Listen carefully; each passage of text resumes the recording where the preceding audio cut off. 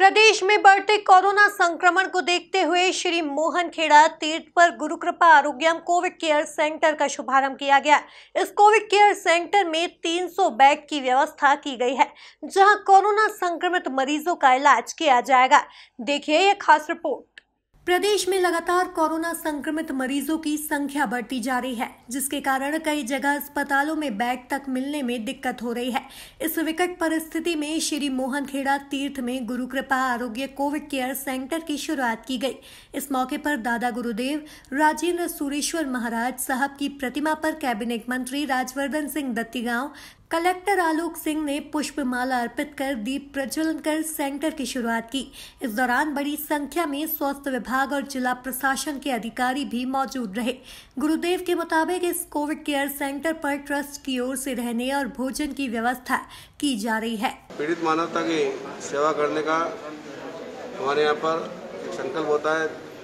मुझे की पूर्णिमा पर जब भी आपदा का विषय आता है उससे को हम कभी चुकते नहीं और कोविड के वर्तमान दौर के अंदर ये हमें बहुत अच्छा महसूस हुआ कि प्रशासन ने, माननीय मंत्री जी महोदय जी के निर्देशों पर यहाँ पर कोविड सेंटर बनाने के लिए जगह का चयन किया।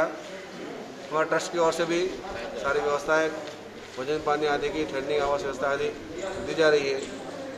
और आज इसका उद्घाटन अभी हुआ ओपनिंग नंबर ज़्यादा शुरू होंगे जैसे जैसे संख्या बढ़ती जाएगी। कैबिनेट मंत्री राजवर्धन सिंह दत्ती दत्तीगांव के मुताबिक विपदा के समय हमेशा मोहन खेड़ा आगे आया है। यहाँ महिला पुरुष व बच्चों के लिए अलग अलग व्यवस्था की है। राजेंद्र सूरी जी गुरुदेव की कृपा है। यहाँ उनका तप रहा है और उससे मोहन खेड़ा की ख्याति भी बढ़ी है। वर्तमान में हमारे गुरुदेव का भी बहुत इसमें सहयोग रहा है और समय समय पर मोहन खेड़ा हमेशा आगे आया है। जब जब भी विपदा का समय आया है, समाज को, क्षेत्र को आवश्यकता पड़ी है तो हमेशा मोहन खेड़ा आगे आया है और मैं गुरुदेव का बहुत आभारी हूँ। उनको हमने छोटा सा आग्रह किया था। अभी आप पधारे ही थे गुजरात से, जैसे ही आप पधारे गुरुदेव गुजरात से, आते ही उन्होंने मुझे फ़ोन लगाया, रात का समय था। फ़ोन लगाते उन्होंने चिंता व्यक्त करी कि क्षेत्र में बहुत फैल रही है। इन्होंने बाकी भी मुझसे चर्चा करी, इंजेक्शन के बारे में, ऑक्सीजन के बारे में। उन्होंने मुझसे आगे होकर कहा कि जो भी आवश्यकता हो मुझसे, ऑक्सीजन के लिए इंजेक्शंस के लिए जहाँ भी कहीं पैसे की भी कमी पड़े तो मैं आपको बहुत आभारी हूँ। और हमने फिर कलेक्टर साहब ने हमने सब जिलाध्यक्ष जी ने हमने मिलकर तय करा कि आपका सहयोग आपके सहयोग से हमें बहुत मदद मिलेगी। तो आज आ, हम सब यहाँ पे हैं और पूरी व्यवस्था हम लोगों ने देखी है। अच्छी व्यवस्था है बहुत अच्छी व्यवस्था है। गुरुदेव उसको और अच्छा बना रहे हैं। यहाँ पे एयरकूल व्यवस्था कर रहे हैं भोजन की पूरी व्यवस्था कर रहे हैं। और लेडीज़ का सेक्शन अलग है जेंट्स का सेक्शन अलग है, बच्चों का सेक्शन अलग है। स्टाफ नर्सेज करीब 25 की हमने अभी व्यवस्था करी है, और व्यवस्था हो रही है।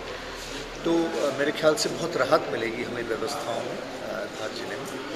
और आने वाले समय में मुझे पूरा विश्वास है कि हम सब मिल के कोरोना से लड़ेंगे और अवश्य हम लोग विजय प्राप्त करेंगे। देखा जाए तो मोहन खेड़ा में बने इस कोविड केयर सेंटर से मरीजों को काफ़ी राहत मिलेगी। Bureau report MP news Badnawar.